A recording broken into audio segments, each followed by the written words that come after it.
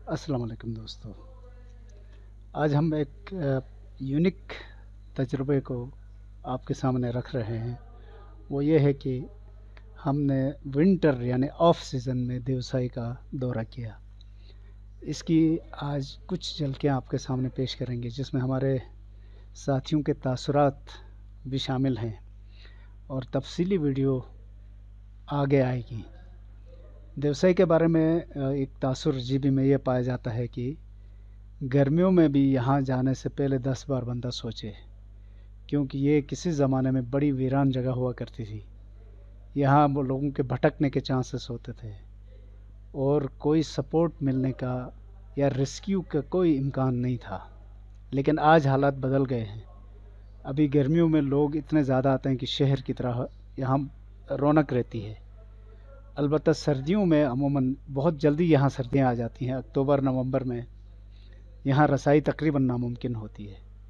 इस साल भी 10 से 12 अक्टूबर तक जो बारिशें हुई उस दौरान देवसाई में बर्फ़ पड़ी।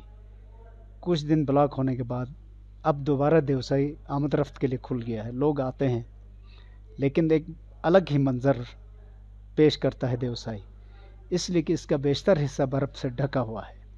और इसकी कुछ झलकियाँ आप देख सकते हैं। अभी हम इस करतू से अली मलिक टॉप पहुँच चुके हैं। और देवसाई की जो हाइट है सतह समंदर से तेरह हज़ार फुट है। और यहाँ दिन का टम्परेचर तो नौ था रात का टम्परेचर शाम के वक्त माइनस फोर था। यकम नवंबर है और इस वक्त हम अली मलिक टॉप से अपने साथियों के तसरत आपके सामने पेश कर रहे हैं। प्रोफेसर बशीर तो तमाम लोगों को सर्दियों में एक दफ़ा अगर फैसिलिटी फैसिलिटी अगर उनके पास है तो एक दफ़ा सर्दियों में भी देवसाई का विज़िट ज़रूर करना चाहिए। इस गर्मियों में तो हर बंदा देवसाई देखता है लेकिन सर्दियों में देखने का एक अलग मज़ा है। लेकिन यह है कि उनके लिए मेरी हिदायत यही है कि थोड़ा सा जो है ना गर्म कपड़े वगैरह पहन के आ जाएँ और थोड़ा सा मतलब एहतियाती तदाबीर ज़रूर इख्तियार करें। हाँ बहरहाल ये हमने बहुत इंजॉय किया। और इन अभी अभी मज़ीद आगे जाएँगे और मज़ीद इंजॉय करेंगे। थैंक यू तो साई सर मैं पहली दफ़ा आया हूँ इस सीज़न में। बहुत ही अच्छा लग रहा है मज़ा आ रहा है। मैं जो आपके प्रोफेसर डॉक्टर व्यूवर्स हैं उनसे यही कहूँगा कि इस सीज़न में एक दफ़ा ज़रूर आना चाहिए। ऐसे लग रहा है जैसे पर्टिकुलरली वो जो प्लेस स्पेस जगह जहाँ पे जो है वो बिल्कुल वाइट कलर के बादल भी आए और नीचे जो है वो बर्फ़ का चादर बिछा हुआ।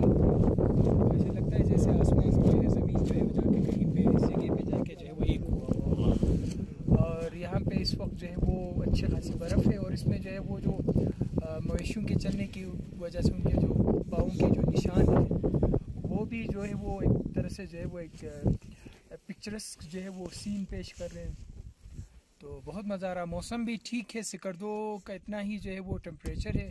थोड़ी सी हवा चल रही है जिसमें थोड़ी खुलकी तो है लेकिन मैं यही कहूँगा कि बस सिकरदो का इतना ही जो है वो टेम्परेचर है यहाँ पर प्रोफेसर बशीर साहब। बसमीम सबसे पहले जो है हम अपने बेहतरीन जो यूट्यूबर है प्रोफेसर आरिफ हुसैन का बड़ा हम शुक्रिया अदा करते हैं। अगर इसकी मेहनत नहीं होती या इसकी काविश नहीं होती तो शायद हम ये खूबसूरत सीन ना देख सकते। इस वक्त हम जो है यकम नवंबर को योम आज़ादी के दिन इधर पहुँचे हैं अली मलिक टॉप पे। तो हर जगह बर्फ़ ही बर्फ़ है और साथ में बादल भी जो है ना, वो बर्फ़ के साथ ढकी हुई है। तो ऐसा लगता है कि अब हमारा डायरेक्ट कनेक्शन आसमान से हुआ चाहता है। तो अल्लाह करे कि हमारे इरादे भी इसी तरह से बुलंद रहे और हमारे आरिफ साहब की ख्वाहिशात भी इसी तरह से बुलंद रहे खुश रहें। Thank you very much sir professor doctor Khalid Ashraf sahab.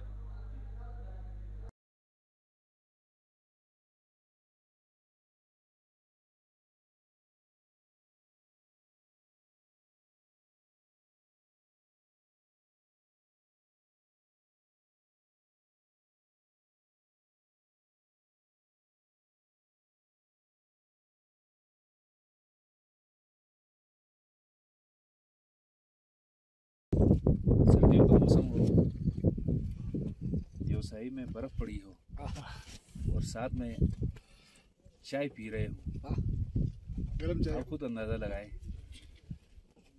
कितना खूबसूरत ये मंज़र होगा। और सामने खूबसूरत लोग बैठे हो।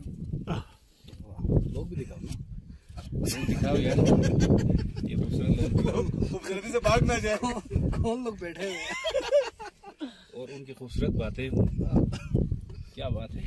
बड़ा मज़ा आ रहा है। और मैं खुद प्रोफेसर आरिफ हुसैन। इस वक्त हम अली मलिक टाप व्यवसाय में हैं।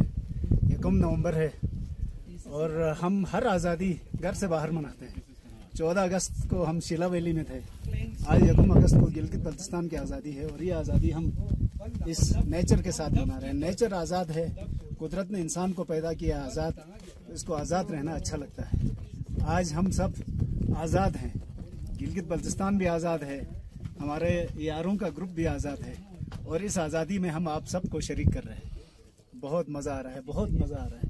थैंक यू वेरी मच और अब हम यहाँ से आगे चल पड़े हैं। ये देवसाई का बिगनिंग पॉइंट है। यहाँ से आगे जो अस्तौर साइड का पोर्शन है शोर शोसर लेक हम वहाँ जाएँगे और यहाँ से वहाँ तक तकरीबन तीन घंटे का सफ़र होता है। इन्हीं अल्फाज के साथ आपसे इजाज़त चाहते हैं। अल्लाह हाफिज़। Thank you very much